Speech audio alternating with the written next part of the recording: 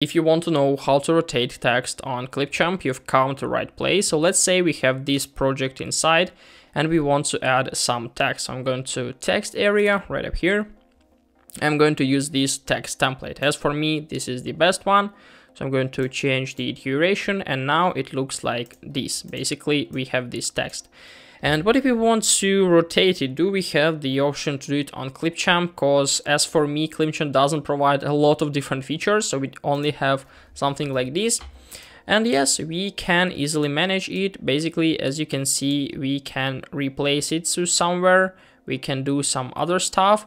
And if we're going to click on it here, we can see the options to transform, where we can change the fade in, fade out. Uh, if we want to place a text vertically, unfortunately, we need to do something like this. We need, instead of writing hello, for example, we need to write it like H, then E, then L, L, O.